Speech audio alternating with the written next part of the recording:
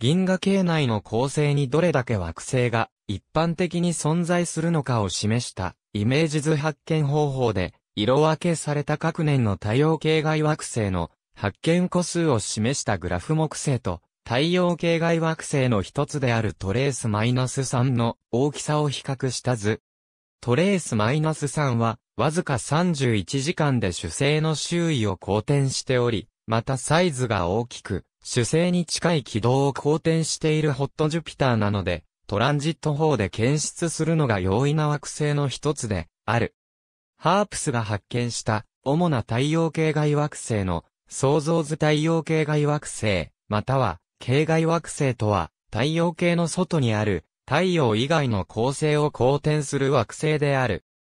初めて太陽系外惑星が正式に確認されたのは1992年で、太陽系外惑星エンサイクロペディアの統計によると2022年1月1日時点で4903個の太陽系外惑星が確認されており、惑星系を持つことが確認されている恒星は3628個で、そのうち807個が複数の惑星を持っている。惑星、候補も含めると総数は同時点で7523個であり、惑星系を持つ恒星は5992個、そのうち990個が複数の惑星を持っている。その存在を示すとされた初めての証拠は1917年に記録されたが、その証拠は認められなかった。科学的観測に基づいて、初めて太陽系外惑星が発見されたのは1988年であったが、後にそうであると確認されるまでは、太陽系外惑星としては受け入れられなかった。2004年から観測を行っている高精度視線速度系外惑星探査装置では、約100個の太陽系外惑星が発見されているが、2009年から観測を行っている、ケプラー宇宙望遠鏡は2000を超える太陽系外惑星を発見しており、また数千個もの惑星候補を検出しているが、そのうちの約11%は誤検出である可能性が示されている。いくつかの構成では、周りを複数の惑星が公転している様子も観測されている。太陽のような構成の約5分の1は、ハビタブルゾーン内に地球サイズが存在するとされており、銀河系に2000億個の構成があると仮定すると、潜在的に居住可能な惑星は、銀河系内に110億個存在していることになり、赤色矮星の場合も含めるとその数は400億個に及ぶと見積もられている。知られている中で、最も質量が小さな太陽系外惑星は、ドラウガーで、月の約2倍の質量しか持たない。一方で、NASA エクソプラネットアーカイブに記載されている最も質量が大きな太陽系外惑星は HR2562b で木星の約30倍の質量を持つが惑星の定義に基づくとこの質量は惑星とみなすには大きすぎるため褐色矮星に分類される可能性がある。太陽系外惑星には主星に非常に近い軌道をわずか数時間で公転しているものや、とても遠くに離れて数千年かけて公転しているものもあり、中には主星と重力的に結びついているかどうかも曖昧なほど離れているものもある。これまで発見されてきた太陽系外惑星のほとんどは銀河系内に位置しているが、銀河系から遠く離れた別の銀河内に存在する銀河系外惑星が存在する可能性を示す証拠も見出されている。現在、知られている最も太陽系に近い太陽系外惑星は、プロキシマケンタウリ B で約4.2光年離れている。太陽系外惑星の発見は、地球外生命探索への関心を強めてきた。地球上における生命の前提条件である液体の水が表面に存在する可能性がある領域ハビタブルゾーン内を公転する惑星にはより大きな関心が集まっている。惑星の居住可能性についての研究において生命が存在し得るのに必要な惑星の地球との適合性にはそれ以外にも様々な要因を考慮する必要がある。太陽系外惑星に加えて、構成を好転せずに単独で存在することが多い、自由浮遊惑星と呼ばれる天体も存在する。それが、WISE-J0855 から0714のようなガスジャイアントの場合、純褐色矮星と扱われることもある。銀河系内に自由浮遊惑星は10億個以上存在すると考えられている。各例において、太陽系外惑星を含む晩星への一般的な命名法を示した図ヒップ 65426B は、ヒップ65426の周りで初めて発見された惑星である。太陽系外惑星への命名法は、連星系への命名法を修正して使われている。これは、従来からの慣習だったが、ワシントンマルチプリシティカタログが整理し、国際天文学連合に暫定的に認可された。構成の名の後に、主星は A を付け、晩星は順に B、C を付けて区別する。何も付けない場合、それは連星系全体を表す。A 自体が連星だった場合、AA アブ AC を付けて区別する。AA 自体が連星だった場合、AA1、AA2、AA3 を付けて区別する。ここで、例えば3連星を ABC とするか、AA アブ B とするかは、軌道の大きさや発見の経緯で変わるが、明確な基準はない。歴史的には、実施連星には大文字が、文公連星には小文字が使われてきた。単一星を惑星が公転している場合、主生名の後に小文字のアルファベットをつけて命名する。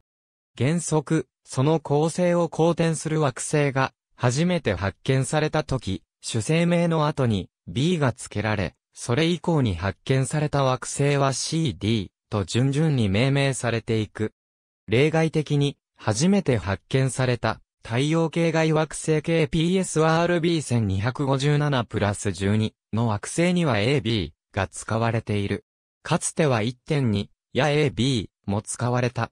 同じ惑星系内に複数の惑星が同時に発見された場合は原則主星に近い順に BC と命名される。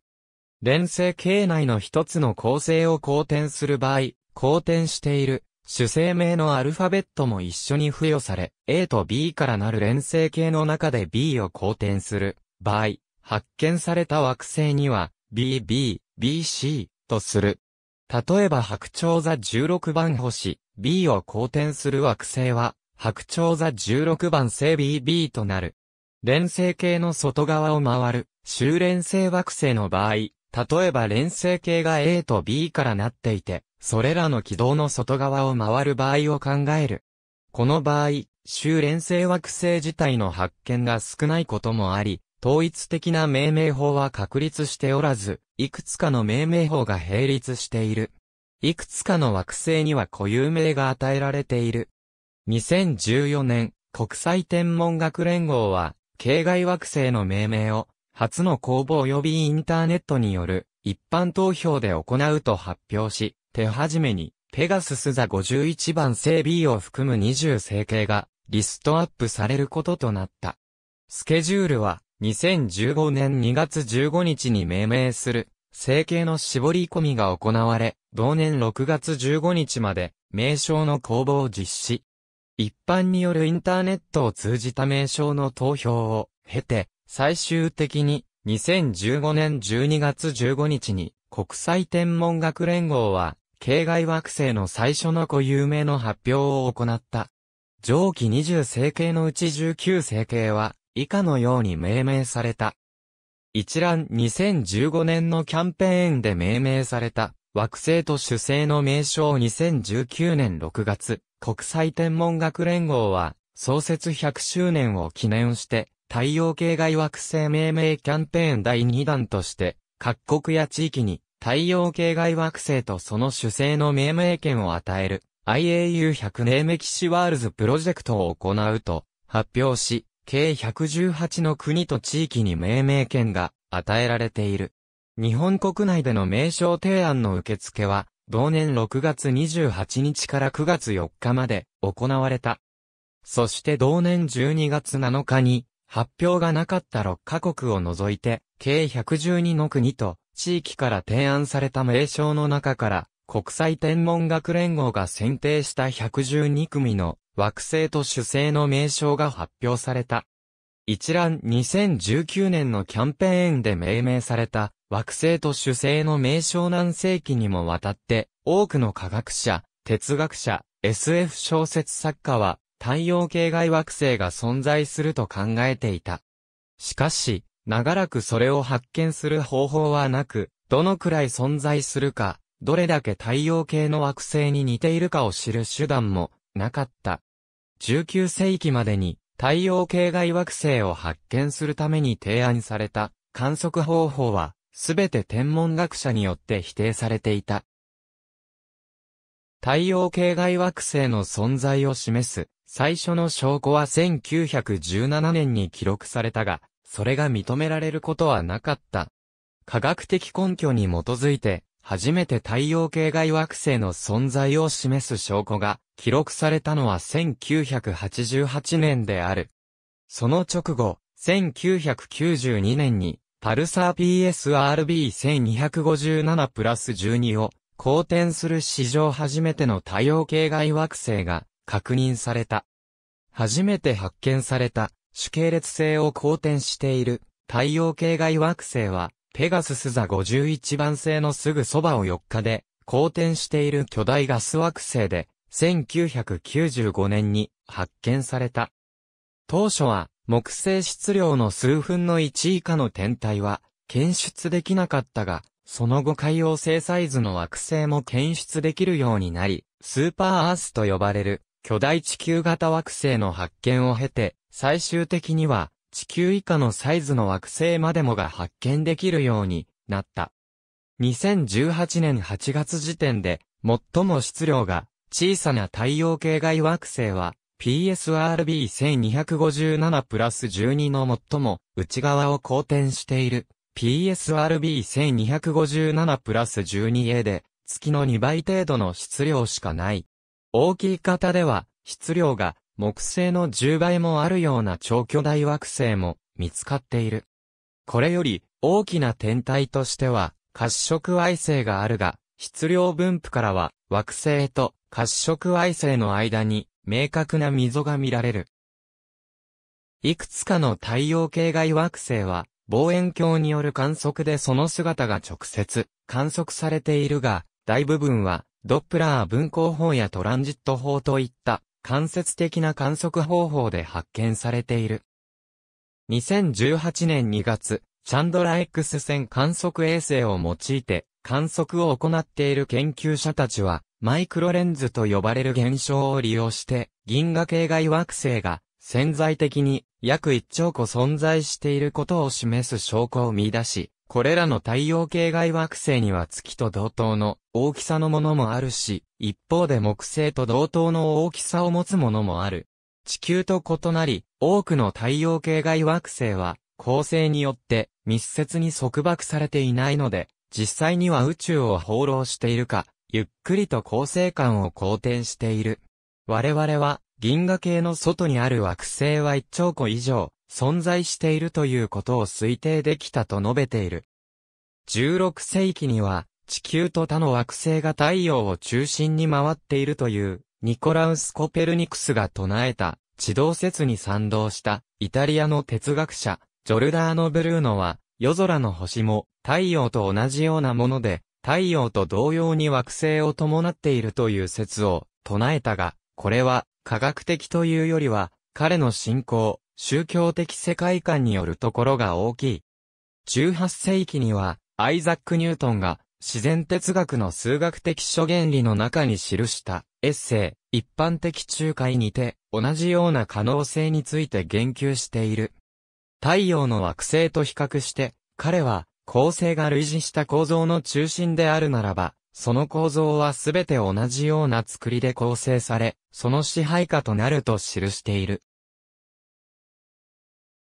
最初の太陽系外惑星が発見される約40年以上前の1952年、オットー・シュトルーベは、太陽系外惑星は、太陽系の惑星よりも主星には近づかない理由と、ドップラー分光法とトランジット法は、公転周期の短いスーパージュピターを検出し得ることを示した。太陽系外惑星を発見する試みは19世紀から行われてきた。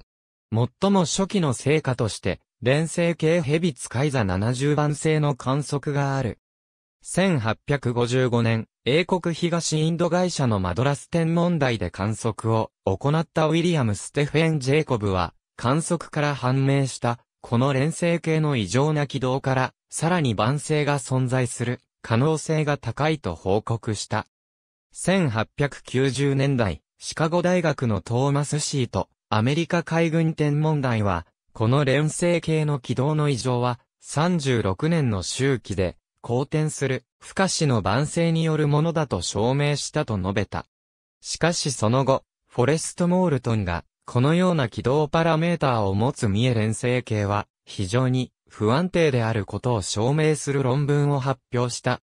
1950年代から1960年代にかけて、スワースモア大学のピート・ファンデカンプは、観測からバーナード星の周囲を公転する太陽系外惑星の存在を主張した。現在、天文学者はこうした初期の発見報告はすべて誤ったものとして否定している。1991年、アンドリューリンと M バイレス、SL シュマルは、パルサーのパルスの変動を利用して、PSR1829 から10に、パルサー惑星を発見したと主張した。この主張は一時的に大きな注目を集めたが、リン率いるチームがすぐに、その主張を撤回した。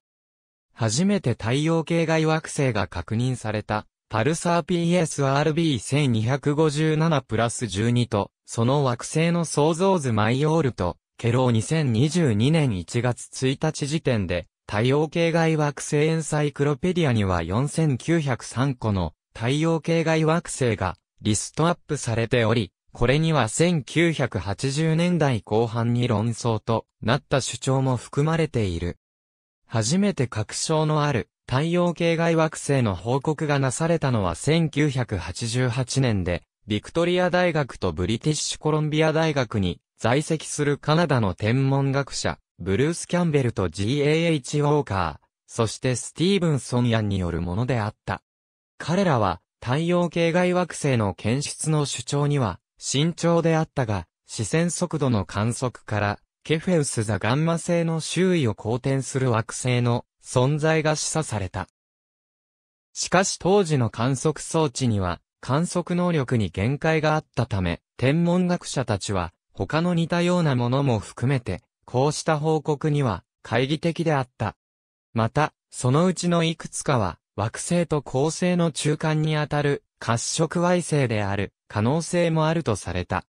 1990年にケフェウス座ガンマ星の周囲を公転する惑星の存在を助長する研究結果が報告されたが、その後の1992年の研究で、再び惑星の存在は疑問視された。最終的に2003年に改良された観測結果により実際に惑星が存在することが確かめられた。1992年1月9日、電波天文学者のアレクサンデル・ボルシュチャンとデール・フレールは、パルサー PSRB1257 プラス12の周囲を公転する2つの惑星を発見したと発表した。その後、この惑星の存在は実証され、一般的に初めての決定的な太陽系外惑星の発見とされている。その後の追加観測から、1994年には、このパルサーを公転する第3の惑星も発見された。これらの惑星は、パルサーが形成された際の超新星爆発の残骸から形成されたか、超新星爆発の際に崩壊した巨大ガス惑星の中心にある岩石質の核が残ったものとされている。1995年10月6日、ジュネーブ天文台のミシェル・マヨールとディディエ・ケローは、G 型主系列星のペガスス座51番星で、主系列星を公転する太陽系外惑星の検出に初めて成功したと発表した。この発見は、オートイコールプロバンス天文台での観測によってもたらされ、これにより、現代的な太陽系外惑星探査の時代を迎えた。高分解能分光法を中心とする技術の発達により、その後、多くの新たな太陽系外惑星が迅速に発見されるようになっていった。天文学者は、主星に対する惑星の重力による影響を測定することにより、間接的に太陽系外惑星を発見することができるようになり、また後に惑星が主星の前面を通過することによる高度の変化からも太陽系外惑星から発見できるようになった。ペガスス座51番星 B の創造図初期に発見された太陽系外惑星の多くは主星から極めて近い軌道を描く、サイズの大きな木星型惑星であった。このような惑星は、軌道が主星に極めて近いことからホットジュピターと呼ばれる。従来の惑星形成理論では、このような大きな惑星は、恒星から遠く離れた領域で形成されるとされていたため、この発見は多くの天文学者たちを驚かせた。しかしその後の観測で、ホットジュピター以外にも様々な種類の太陽系外惑星が発見されるようになり、現在は、ホットジュピターは太陽系外惑星全体の少数しか構成していないことが分かっている。1999年には、元から発見されていた一つの惑星に加え、新たに二つの惑星が発見されたことにより、アンドロメダザウプシロン星が主系列星としては初めて複数の惑星を持つ構成となった。1999年には、その直前に、ドップラー分光法によって発見されていた、太陽系外惑星 HD209,458、B が初めてトランジットを起こすことが確認された。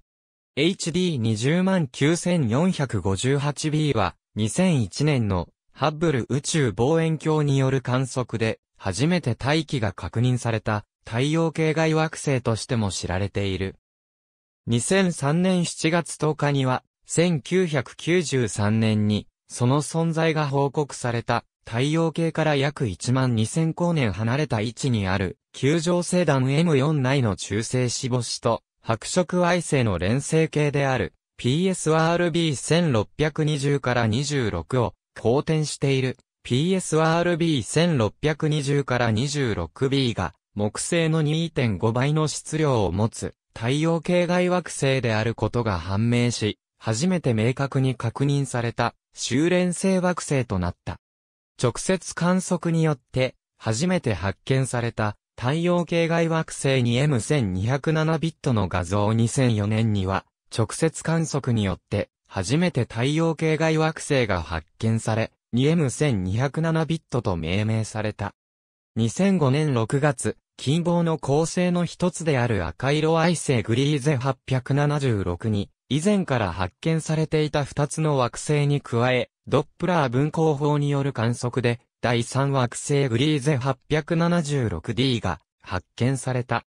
観測からグリーゼ 876D の加減質量が地球の7.53倍であると見積もられ、史上初めて発見された岩石から構成されている可能性がある太陽系外惑星として注目を集めた。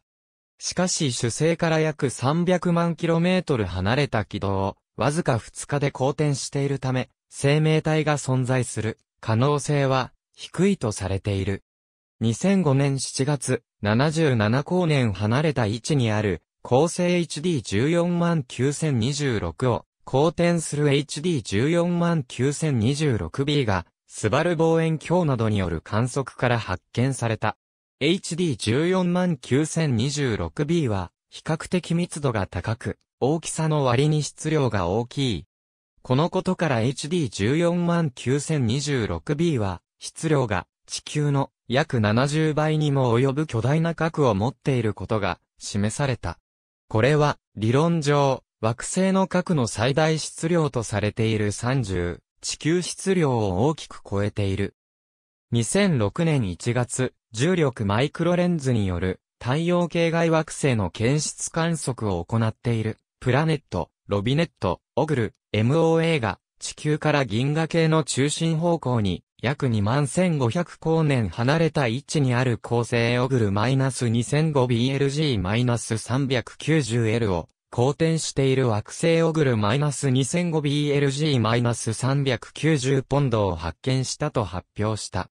質量は地球の5.5倍で、その直前に発見されていたグリーゼ 876D とは異なり、主星からは 2.6AU も離れているため、表面温度は約 50K しかなく、岩石惑星か氷惑星であると考えられている。発見チームは、当時発見されていた中では最も地球に似ている太陽系外惑星だと表現している。NASA はこの惑星を、スター・ウォーズシリーズに登場する架空の惑星ホスに例えている。2006年12月27日、欧州宇宙機関とフランス国立宇宙研究センターの協力により、太陽系外惑星の観測を目的とした宇宙望遠鏡航路がカザフスタンのバイコヌール宇宙基地から打ち上げた。その約5ヶ月後の2007年5月1日に、この観測ミッションで最初の太陽系外惑星が発見された。2007年7月、太陽系から20光年離れた位置にある赤色矮星グリーゼ581の新たな2つの惑星、グリーゼ 581C とグリーゼ 581D がハープスを用いて観測を行ったステファン・ユードライ率いるチームによって発見された。この2つの惑星はグリーゼ581のハビタブルゾーン内を公転しているため、表面に液体の水が存在できる可能性がある。4つの惑星が主星 HR8799 を公転する。ヨース2008年11月には、一等星の一つで、あるフォーマルハウトのゴミ円盤の中を公転する、惑星フォーマルハウトビート、A 型主系列星 HR8799 を公転する3つの惑星を直接観測で発見したという研究結果が発表された。しかしフォーマルハウト B については、その後の観測で惑星ではない可能性が示されている。2009年2月、航路による観測で約500光年離れた太陽に似た恒星、航路 -7 の周囲を公転する惑星、航路 -7b が発見された。当時大きさが知られていた太陽系外惑星の中では最も小さく地球の約1.6倍しかない。そのため、地球と同じように岩石からなる岩石惑星だと考えられている。しかし、主星の周りをわずか20時間で公転しているため、表面温度は1、摂氏000度から1、摂氏500度にもなる。ケプラー宇宙望遠鏡2009年3月6日、アメリカ航空宇宙局は、新たな太陽系外惑星宇宙機ケプラーをケープカナベラル空軍基地から打ち上げた。地球周回軌道に投入された航路とは異なり、太陽周回軌道に投入され、白鳥座とこと座周辺に位置する10万個以上の恒星が観測対象となった。同年5月から本格的な観測を開始し、2018年8月27日時点で2327個の太陽系外惑星を確認し、さらに4496個の太陽系外惑星候補を発見している。初めてケプラーによる観測で発見された5つの惑星は、2010年1月にワシントン DC で行われたアメリカ天文学会第215回会合で、その観測結果が発表された。2009年6月10日には、いて、ザ V4046 星という連星の周囲に原子惑星系円盤が存在することが、サブミリ波電波干渉計の観測で捉えられたと発表された。この連星系の恒星同士の間隔は約600万 km で、これは太陽から水星までの10分の1に過ぎない。恒星の多くは連星となっているが、このように近接した連星系には惑星はできないと考えられていた。2009年5月28日、一天文学法と呼ばれる観測方法を用いて、初めて太陽系外惑星候補を発見したと発表された。この太陽系外惑星は VB10 と呼ばれる小型の恒星を公転しているが、後のドップラー分光法による観測では検出されず、存在はまだ確定していない。2009年8月、太陽系外惑星探索プロジェクトのスーパーワスプによる観測で、地球から約1000光年離れた位置にある、恒星ワスプ -17 を公転する、惑星ワスプ -17b が発見された。大きさは木星の約2倍だが、質量は木星の約半分しかないため、地球や木星と比べてもかなり密度は低い。またロシターマクローリン効果による測定で、この惑星が主星の自転方向と逆方向に公転する逆光惑星であることが判明した。同年11月には国立天文台とマサチューセッツ工科大学を中心とする日本、アメリカ合衆国の研究チームも、また主星の自転とは逆向きに公転する逆光惑星、ハット P-7b を発見している。それまで小惑星や衛星においては、逆光小惑星や逆光衛星が発見されており、惑星についても理論的には存在が予言されていた。こうした太陽系外惑星の発見は、その起源や進化の解明に役立つと期待されている。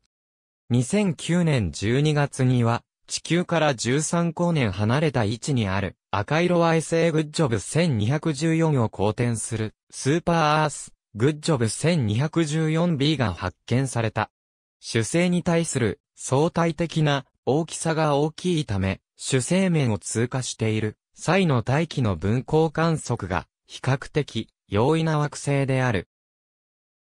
その結果、2012年にハッブル宇宙望遠鏡による観測で、グッジョブ 1214b が、水素の大気を持つガス惑星とは異なり、濃い水蒸気の大気で覆われていることが判明した。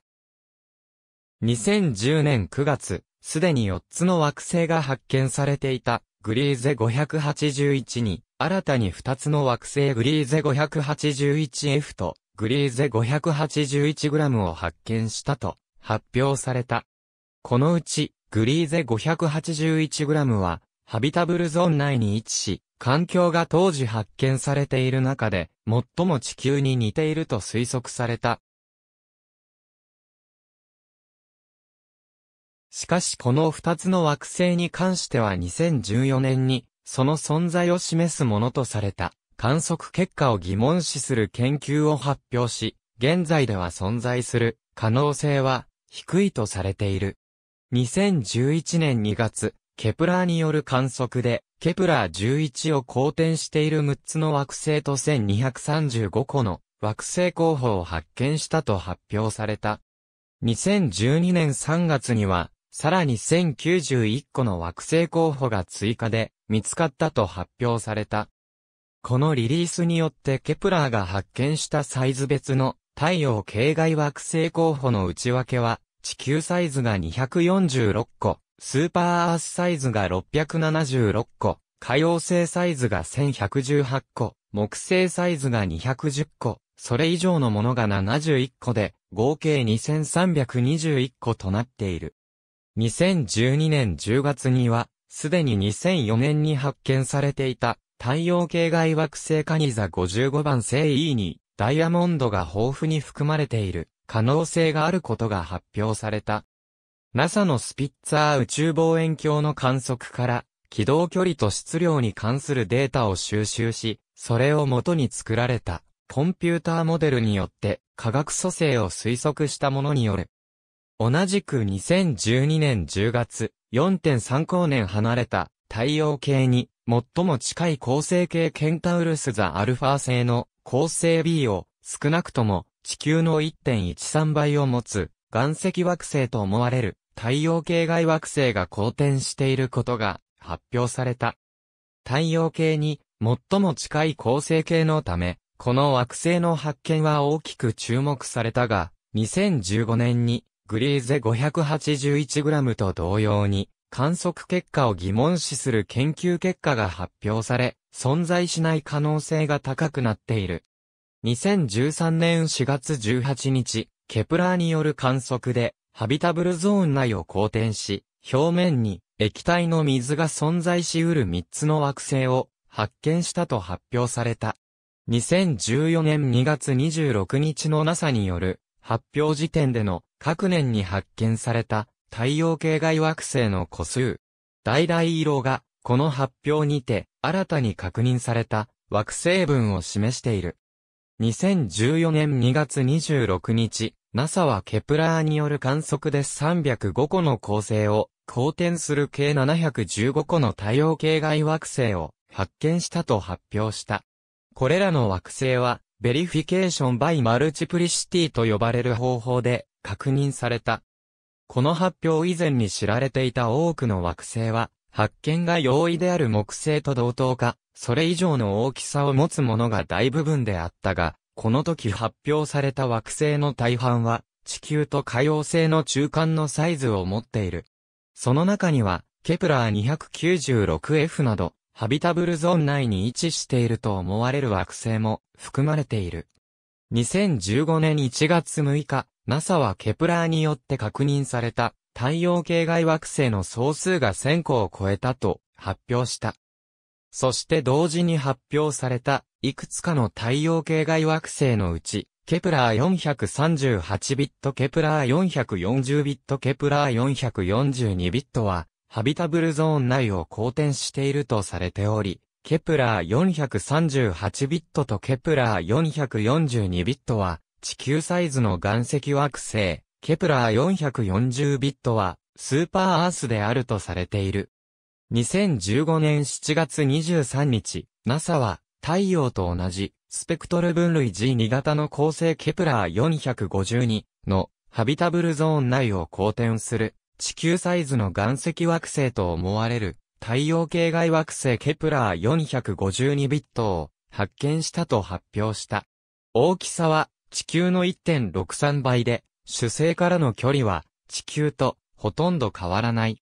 2016年3月11日、NASA はケプラーによって観測された1284個の惑星候補の存在が確定となったと発表した。これは2015年7月のケプラーのカタログに記載された4302個の惑星候補を精査した結果である。このうち550個はサイズから岩石でできた惑星と推測され、この中にハビタブルゾーン内に存在すると考えられる惑星が9個存在する。2016年8月24日、ヨーロッパ南天天文台は太陽系に最も近い恒星プロキシマケンタウリのハビタブルゾーン内を少なくとも地球の1.27倍の質量を持つ惑星、プロキシマケンタウリ B を発見したと発表された。惑星の表面温度は 234K と見積もられており、大気や液体の水が存在していれば、生命が存在できる可能性がある。太陽系に最も近い恒星を公転しており、なおかつ地球サイズであると予想されたため、プロキシマケンタウリ B の発見は、多くのメディアに取り上げられ、このプロキシマケンタウリ系を含むケンタウルス座、アルファ星系に切手サイズの超小型探査機、スターチップを送り、接近探査を行うブレイクスルースターショット計画が構想されている。しかし、主星プロキシマケンタウリが構成活動が激しい先行性のため、それによって生じる大量の放射線や X 線により、そのすぐそばを好転している、プロキシマケンタウリ B の大気に悪影響を及ぼしている可能性が示されている。トラピスト -1K の惑星の創造図2017年2月22日、NASA はスピッツァー宇宙望遠鏡による観測で2016年5月にすでにトラピスト望遠鏡による観測で3つの惑星の存在が知られていた。約40光年離れた。位置にある赤色矮星トラピスト -1 に新たに4つの惑星を発見したと発表した。この発見により惑星の総数は7個となった。大きさは大きいものでも地球よりわずかに大きい程度で中には火星サイズのものもある。この7個の惑星のうち、複数の惑星は、ハビタブルゾーン内を公転しており、2018年5月には、トラピストマイナス -1 の惑星の組成などが詳しく予測され、地球の250倍の水が含まれている可能性が示された。2017年11月、太陽系から約11光年離れた位置にある赤色矮星ロス128を約10日で公転している惑星ロス128ビットを発見したと発表された。ロス128ビットは少なくとも地球の1.4倍の質量を持つ岩石惑星とされており、主星のハビタブルゾーン内を公転している。太陽よりも小さな赤色矮星は、プロキシマケンタウリのように、恒星活動が激しい閃光星が多く、仮にハビタブルゾーン内に惑星が公転していたとしても、大量の放射線を浴びて、大気などに大きな影響を与えてしまうとされている。しかし、ロス128は、赤色矮星としては、恒星活動が静穏であり、そのため、ロス128b が受ける放射線量は、地球の1.38倍に収まっているとされている。ケプラー 90K の惑星の創造図2017年12月、Google の機械学習システムを用いた人工知能による分析で、すでにそれぞれ5個と7個の惑星の存在が知られていた、ケプラー80とケプラー90を公転する新たな惑星を発見したと発表された。特にケプラー 90K は、この発表によって惑星数が太陽系と並ぶ8個となった。これは基地の太陽系外惑星を持つ構成の中では最多である。2018年3月、スーパーワスプが2011年に発見していた土星サイズの太陽系外惑星ワスプ -39b の大気に土星の3倍もの水蒸気が含まれていることが発表された。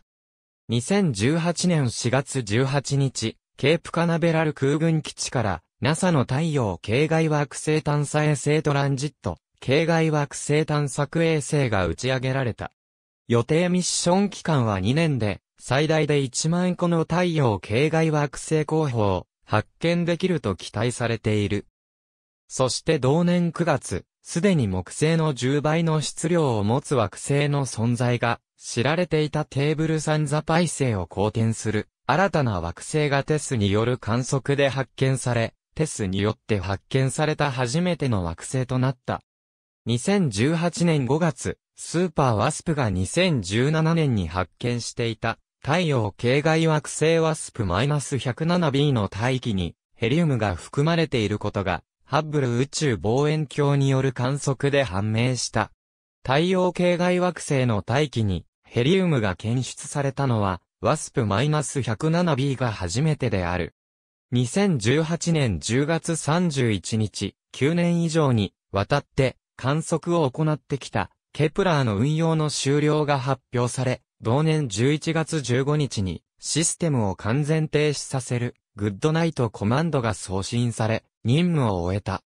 2018年11月14日、ハープスなどによって得られた約20年分のデータを元に、バーナード星の周囲を少なくとも地球の3.23倍の質量を持つスーパーアースとおぼしき太陽系外惑星候補が存在している可能性が示された。これが事実ならば、この惑星はプロキシマケンタウリ B に次いで太陽系に2番目に近い太陽系外惑星となる。2018年11月26日、運用を終了したケプラーと宇宙望遠鏡、ガイア、地上の望遠鏡の観測データを組み合わせた結果、104個の新たな太陽系外惑星が発見されたと発表された。そのうちの3個は24時間以内で軌道を公転している。2019年6月、地球から12.5光年離れた位置にあるくらい、赤色 ICT ガーデン製のハビタブルゾーン内に、地球とほぼ同等の質量を持つ2つの惑星が発見されたと発表された。2020年1月、テスの観測で、赤色矮星トイ -700 の周りを公転する3つの惑星が発見された。そのうち、地球程度の大きさを持つ最も外側のトイ -700D は、ハビタブルゾーン内を公転しており、テスが、ハビタブルゾーン内を公転する、地球規模の惑星を発見したのは、これが初めてだった。2017年6月時点で、NASA のケプラーは5000個以上の太陽系外惑星候補を発見している。そのうちのいくつかは、地球サイズで、ハビタブルゾーン内を公転している。太陽系外惑星の分布太陽系外惑星の分布小さな惑星のサイズは2つの範囲に集中しているケプラーが発見したハビタブルゾーンにある惑星主系列星を公転する初めての太陽系外惑星は1995年10月6日に検出され、ペガスス座51番星 B と命名された。太陽系外惑星の構成面通過が観測されると、惑星の真の質量や大きさを含む多くの物理的要素を求めることができ、ある程度内部構造を推定できる。さらに構成面通過の際に分光分析を行うことによって惑星の大気の動態や大気組成を調べることができる。統計学的調査と個々の惑星の特徴付けは太陽系外惑星学における基本的な問題を解く手がかりとなっている。2022年1月初頭の時点で発見されている4900個以上の太陽系外惑星を発見するために様々な観測技術が用いられてきた。様々な年齢の主星を好転する膨大な惑星のサンプルを文書化することは惑星系の形成や地質の進化、軌道移動、そしてそれらの潜在的な居住性への理解を深めることにつながる。また、太陽系外惑星の大気を特徴づけることは、太陽系外惑星学の新たなフロンティアとなっている。原子惑星系円盤のガスの流れを測ることにより、太陽系外惑星の検出が可能になる。これまでに発見されている太陽系外惑星の97%は主にドップラー分光法やトランジット法といった間接的な方法で発見されている。太陽系内に存在するものについては、それぞれの項目を参照。また、本項目では概要のみを記載している。エキセントリックプラネットの一つ、HD96167b の軌道普通の恒星同士の連星系を公転する、周連星惑星としては初めて発見された、ケプラー16b の想像図ほとんどの場合、軌道、サイズ等からの推測だが、分光スペクトルが得られた惑星も若干ある。海洋惑星の創造図。候補なし惑星は主星が形成される数千万年の間に形成される。太陽系の惑星は現在の状態しか観測することができないが、年齢の異なる様々な惑星系の観測は異なる進化の段階にある惑星の観測を可能にさせている。現在、観測可能な惑星系は、原子惑星系円盤が形成途中の段階のものから、形成から100億年以上が経過したものまで様々である。原子惑星系円盤内で形成されている岩石惑星は、時間の経過とともに冷たく収縮した水素エンベロープを持ち、惑星の質量に応じて水素の一部、もしくは全体は宇宙空間へ放出されていく。これは岩石惑星であっても早く形成されれば大きさが大きくなることを意味する。例えば、ケプラー51b は地球の約2倍の質量を持たないが、地球の約100倍の質量を持つ土星とほぼ同じ大きさを持っており、形成から数億年しか経過していない若い惑星とされている。恒星のスペクトル分類2つの恒星の周囲を公転する惑星の想像図1つの恒星は平均で少なくとも1個の惑星を持つとされており、また太陽のような恒星の5分の1はハビタブルゾーン内に地球規模の惑星を持っているとされている。知られている太陽系外惑星のほとんどは太陽に比較的似た F 型主系列星、G 型主系列星、K 型主系列星を好転している。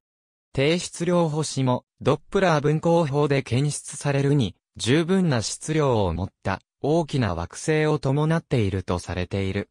それにもかかわらず、赤色矮星の周りを公転している惑星は、ケプラーのトランジット法による観測で発見された数十個に止まっている。ケプラーによる観測データから恒星の金属量と太陽系外惑星を持つ確率に相関性があることが見出されている。金属量がより多い恒星は少ない恒星よりも惑星、特に質量が大きなものを持っている可能性が高い。いくつかの太陽系外惑星は連星系内の恒星の一つを公転しているものもあり、さらに連星系全体の周りを公転する周連星惑星も発見されている。三重連星系内を公転する惑星もいくつか知られており、また、ケプラー64bや、おひつじ座30番星bは、四重連星系内を公転している。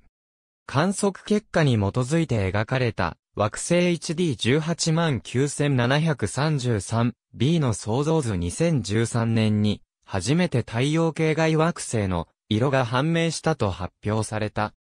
太陽系外惑星 HD189,733B のアルベドの最適測定値から、この惑星は濃い青色をしていることが示された。また同年末には、マゼンタ色の乙女座59番星 B や、近くなら赤色に見えると思われるアンドロメダ座、カッパ星 B を含む、いくつかの太陽系外惑星の色が求められた。惑星の見かけの明るさは、観測者からの距離、アルベド、主星の高度と惑星までの距離に依存する主星から受ける光の量によって決まる。そのため主星に近いアルベドの低い惑星は主星から遠くアルベトの高い惑星よりも明るく見えるかもしれない。基地の太陽系外惑星の中で、キカアルベドにおいて最も暗いのは、ホットジュピターのトレースマイナス2で、反射率はわずか1%未満であり、これは石炭もしくは黒色のアクリル塗料よりも低い。ホットジュピターは、大気中に含まれるナトリウムとカリウムのため暗い色になるとされているが、なぜトレースマイナス2がこれほど暗いのかは分かっておらず、未知の化合物に起因する可能性も示されている。ガス惑星の場合、金属量、または大気温度の増加を妨げる雲がない限り、キカールベドはそれに伴い減少する。雲の深さが増加すると、光化学でのアルベドは上昇するが、一部の赤外線波長では減少する。一方、年老いた惑星は、雲の深度が深いため、時間が経過するとともに、光学アルベドは上昇していく。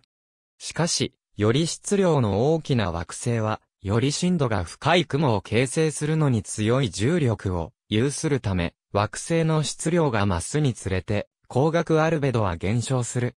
また、楕円軌道を描いている惑星は、大気組成に大きな変動を引き起こし、大気に大きな影響を及ぼす可能性がある。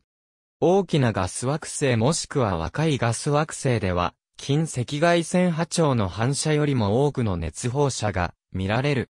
したがって、光学的な明るさは完全に満ち欠けに依存するが、近赤外線では必ずしもそうとは限らない。ガス惑星の温度は、形成からの時間経過、そして主星からの距離が遠くなるにつれて減少する。低くなる温度は、雲がなくても、光学アルベドを上昇させ、十分に温度が低くなると、水の雲が形成され、光学アルベドはさらに上昇する。さらに低い温度では、アンモニアの雲が形成され、ほとんどの光学波長及び、近赤外線波長で最も高いアルベドが示されるようになる。これまで発見された多くの太陽系外惑星の大部分は太陽系の惑星よりも高い軌道離心率を持っている。軌道離心率の値が低いと軌道が円形に近いことを示しており、また太陽系外惑星の多くは主星の非常に近くを公転している。それに対して太陽系の惑星は8個のうち6個がほぼ円軌道である。こうした太陽系外惑星の発見は、惑星の軌道離心率が、小さな太陽系が稀で独特な構造であることを示している。一つの説として、惑星の数の多さが惑星の軌道を円軌道にさせている可能性が挙げられており、他にも小惑星帯が原因であるとする説もある。惑星を多く有する惑星系も発見されているが、太陽系に類似したものはほとんど知られておらず、また太陽系のように惑星が広範囲にわたって分布している惑星系も少ない。居住性、特に高度な生命が生息可能な環境には低い軌道離心率が必要である。しかし、多くの惑星がある惑星系では、居住可能な惑星が存在できるかもしれない。しかし、近年の観測技術の向上に伴い、グリーゼ 676A 系やケプラー90系などの構造が太陽系に似た惑星系も発見されるようになっており、太陽系は数ある惑星系のパターンの一つに過ぎないという考え方も広がってきている。2014年、惑星表面からの水素の蒸発を観測した結果、惑星 HD209,458b の周りに磁場が存在すると推測された。これが初めて検出された太陽系外惑星の磁場となった。この磁場の強さは木星の約10分の1になるとされている。主星と近くの惑星の間で作用する磁場の相互作用はガリレオ衛星が木星の表面上にオーロラを形成させるのと同様の原因で引き起こされる。オーロラによる電波放射はローファルなどの電波望遠鏡で検出することができる。電波の放射は他の観測方法では求められない惑星の自転速度を求めれる可能性が示されている。地球の磁場は液体金属コアの流れに起因するが、より内部が高圧なスーパーアースでは、地球での条件で作られた化合物と異なるものが形成されるかもしれない。化合物は、より大きな粘度と高い融点を持つ可能性があり、内部が異なる層に分類するのを避け、コアのない未分化のマントルを形成しているかもしれない。マグシー 3O12 のような酸化マグネシウムの形態は、スーパーアース内部の圧力と温度では液体金属となり、スーパーアースのマントルに磁場を発生させる可能性がある。ホットジュピターは予想以上に大きなサイズを有していることがある。これは、恒星風と惑星の磁場との間で作用する相互作用によって引き起こされ、惑星の加熱によって生じる電流により、惑星は膨張される。磁気活動が強い恒星ほど、恒星風は強く、大気に生じる電流により、惑星の加熱と膨張は、より大きくなる。この理論は、恒星の活動が膨張した惑星の半径と相関性があるという観測結果と一致している。2018年8月、科学者たちは、気体状の重水素の液体金属への形態の変化を発表した。これは、観測された強力な磁場の要因となる可能性のある液体金属水素を多く含んでいると考えられているため、研究者が木星や土星などの巨大ガス惑星をより深く理解するのに役立つとされている。2007年に独立した2つの研究チームは、より規模が大きなスーパーアースにプレートテクトニクスが存在する可能性について、それぞれ逆の結論に達している。片方のチームは、プレートテクトニクスは一時的にしか発生しないか、あるいは一枚岩のプレートの下で、マントルが滞留するだけの、スタグナントリッドと呼ばれる状態になるとしており、もう片方のチームは、惑星が乾燥していてもスーパーアースなら、プレートテクトニクスは起こり得るとしている。スーパーアースが地球の80倍以上の水を持っていれば、すべての大陸が沈み海洋惑星となる。しかしこの限界よりも水の量が少なければ、深層の水循環は大陸とマントルの間に十分な量の水を移動させ、大陸の存在を可能とする。カニ座55番星 E の大規模な表面温度の変動は火山活動を起こせるとされており、熱放出を遮断する大きなゴミ雲を放出し、惑星を覆っている可能性がある。構成1スワスプ J14747.93 から394,542.6の周りには、土星の間よりも、はるかに大きな間によって囲まれた友天体が、公転していることが知られている。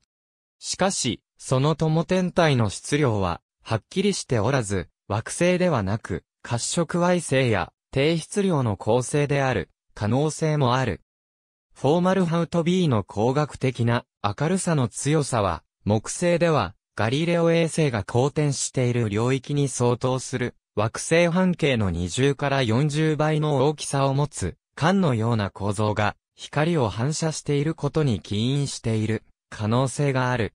太陽系のガス惑星の管は主惑星の赤道面上に位置している。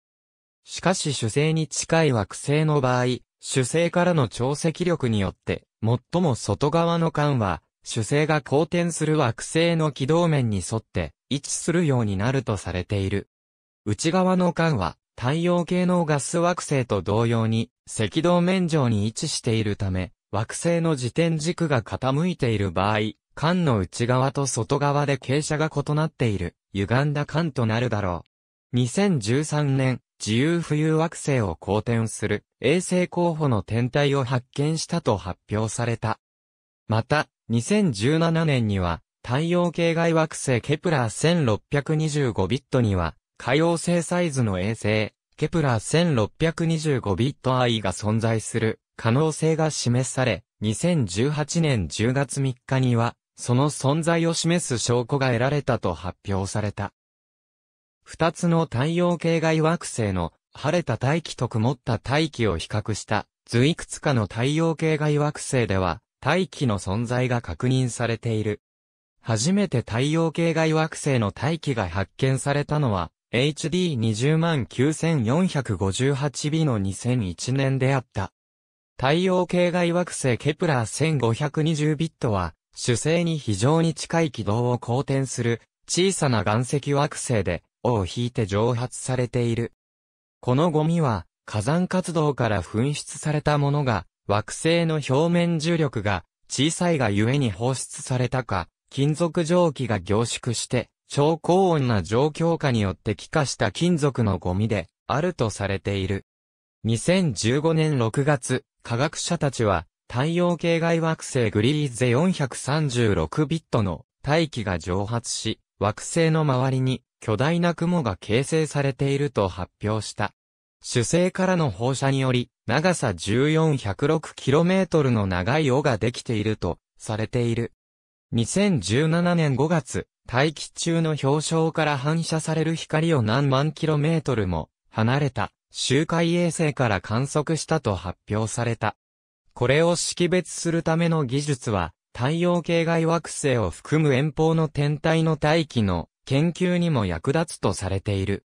潮汐固定された自転周期と公転周期の比が1、1の惑星は、片側は常に主星を向けるため高温となり、もう一方は光が届かず冷たく凍りついているであろう。ハビタブルゾーン内にある惑星の場合、惑星の主星を向けている側のみに水が存在し、もう片側では、水は氷として存在することから、そのような惑星は、外見が眼球のように見えるかもしれない。一方、楕円軌道で公転している惑星の場合、自転周期と公転周期の比が3、2、もしくは5、2だと、惑星の両面に高温の領域が発生し、眼球のように見える部分が2つ形成されるかもしれない。楕円軌道で、なおかつ自転軸が傾いている場合、日射のパターンはより複雑になる。ハビタブルゾーン内を公転している惑星ケプラー 186F と地球の比較より多くの惑星が発見されるにつれて太陽系外惑星学の分野は地球以外の惑星についてより深い研究が行えるように進歩し、最終的に太陽系以外の天体での地球外生命体の見通しについて取り組んでいくであろう。天文学的な距離を考えると、地球外生命体が惑星規模で発達し、古典的な物理科学的プロセスでは説明できないような大きな惑星環境の変化があれば、人類はその存在を認知できるかもしれない。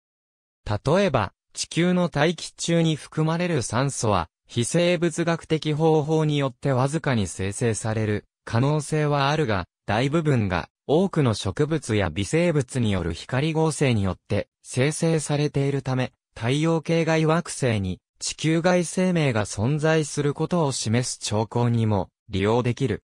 さらに、潜在的に居住可能な惑星は十分な大気圧を保持するのに必要な質量を持ち、活動が安定している構成から表面に液体の水が存在できる適切な距離を保っている必要がある。ありがとうございます。